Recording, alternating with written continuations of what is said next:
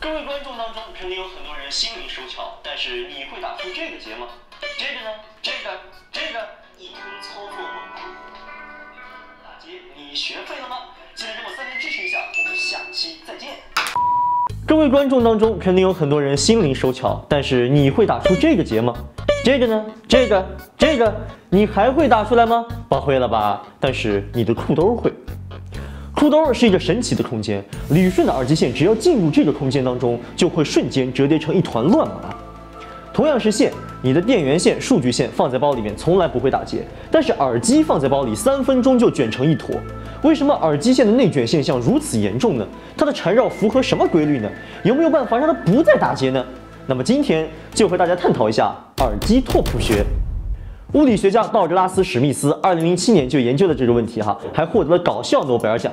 他把不同长度软硬的绳子装在透明的盒子里面，用各种速度旋转盒子，进行了三千多次实验，结果非常 amazing 啊！实验发现，软的绳子更容易打结啊，这个也很好理解哈，软的绳子嘛，随便一捏都成团成一团，那么当然好打结了。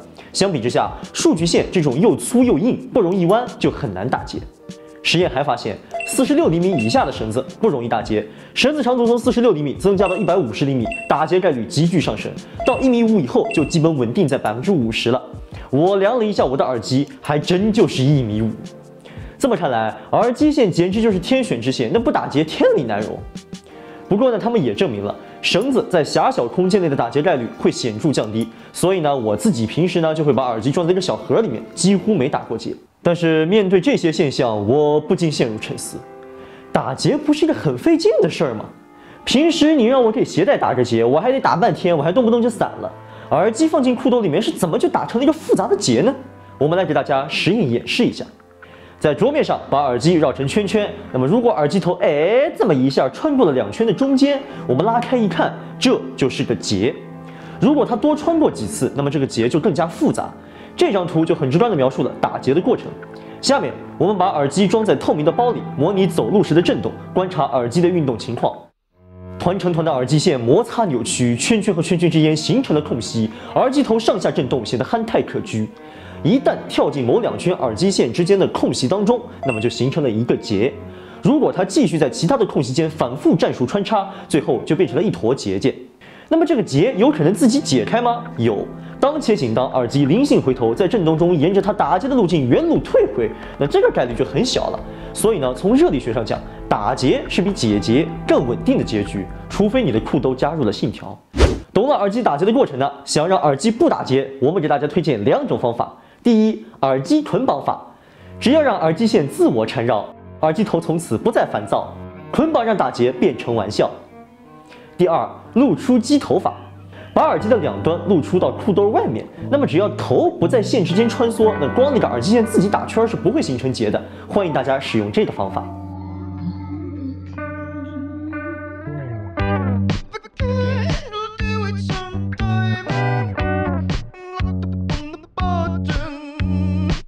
早在一八六七年，开尔文勋爵提出原子可以描述为漩涡的结，此后打结就一直是有趣的科研话题。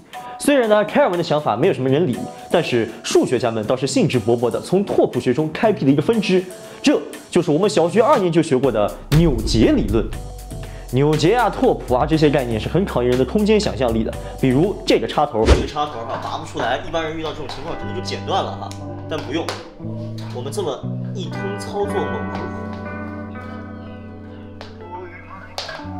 哎，它就出来了，所以这个方法是非常。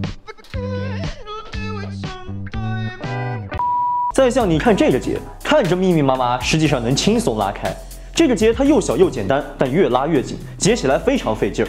我爷爷年轻的时候干活就经常打这个结，这就是著名的爷青结。像第一个那样一拉就开的结，就是我们常说的活结，学术上呢叫做平凡结，看着唬人，其实相当于没打结。这么看来，小时候你翻的花绳啊，一下就松开的鞋带啊，其实都是平凡结。但是每个人的耳机都是天赋异禀的打结大师，耳机结到底不平凡在哪里呢？这就需要我们弄清了，结到底是个啥。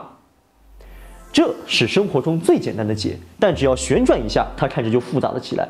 我们还可以交叉一下，再把结移动一下，看起来越来越复杂。但是这并不改变这个结的本质，它都等价于最开始的那个结。有的观众要说了，你这个 too simple 啊，那我来个复杂的，只通过拉扯和扭转，这个结有可能变成这个结吗？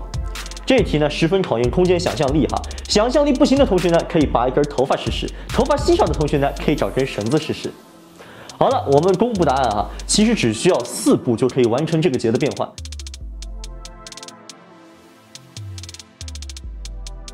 结的样子发生了变化，但它还是从前那个结，没有一丝丝改变。所以啊，结节们可能长得很像，但它们之间存在某种本质的区别。有的结节呢看起来差得很远，但它们其实是一样的。结的世界变幻莫测，人们只能靠数学这种简洁深刻的工具去解构它，所以呢，就有了扭结理论。那些本质上一样的结，在数学上呢就称为同恒。像我们刚才操作中的扭啊、交叉啊、移动，就是判断结是否同恒最简单的方法。Ready-Master moves。所以呢，爱翻花绳的小学生，其实就是在复杂的 Ready-Master 移动组合中探究花绳的同恒不变量。一九八五年呢，琼斯发现了一个多项式族，可以用来描述一个结的结构，非常的 amazing 啊！你是不是从没想过，可以用一个多项式去表达一个结？我把外科结和懒散结的琼斯多项式呢，计算过程分别列在这里面。有兴趣的同学可以研究一下，学有余力的同学呢，可以写出中国结的琼斯多项式。我呢是学高分子的哈，我们专业不学拓扑，所以呢，当时看什么琼斯多项式啊，什么同坑不变量，我很吃力，让我觉得这个扭结理论这玩意儿纯属数学家的脑力游戏。但有一天，我突然顿悟了，高分子这玩意儿本质上不就是一坨扭结吗？我们生活中接触的一切塑料、橡胶、纤维，哈，都属于高分子。普通的分子在微观上长得像个小球，但是高分子是一条长长的链，长了就容易弯，弯了就容易打结。所以高分子链呢都是缠绕在一起的。恰恰是这种缠绕打结的状态，赋予了高分子独特的动力学和流变学行为。橡胶柔软，防弹衣坚硬，口香糖能开椰子，玉米糊能水上漂。这些看似毫不相干的性质，都可以归结为高分子链不同的打结方式。真正掌握了打结的科学家，甚至可以给分子打结。一九六一年，Frisch 等人在 JACS 上发表了论文《Chemical Topology》，将两条分子链打成了结，从而机械互锁，形成了这样一个很难写出化学式的分子。它被命名为锁烃。还有更多结的这个手铐烃啊、饼干烃啊、奥林匹克丸、三叶结等等，甚至我们之前讲过的分子小车都有分子打结的参与。创造闻所未闻的分子结构，是化学家展示他们真正掌握了分子规律的最好方式。他们努力打出更复杂的分子结，挑战着物质合成技巧的边界，也探索着微观的美学。DNA 在不复制的时候也会给自己打个结，以维持自身紧密。而细胞能产生拓扑异构酶，通过化学反应解除 DNA 的结。你半天都解不开耳机的结，但人家一个蛋白质分子都会解结。好好跟酶学习一下工作机理吧，这其中不仅蕴藏着基因深层的奥秘，也给癌症形成的研究带来了曙光。抛开微观领域的成结现象，人类又何尝不是一直在打结当中成长的？上古无文字，结绳以记事。打结是古代人类文化交流的方式，也是文明的传承。所以下次看到五花八门、千奇百怪的耳机结，不要急躁，不要生气，那是裤兜用自己的方式表达着对人类的 amazing。好的，感谢大家收看本期视频。耳机如何不打结？你学废了吗？记得给我三连支持一下，我们下期再见。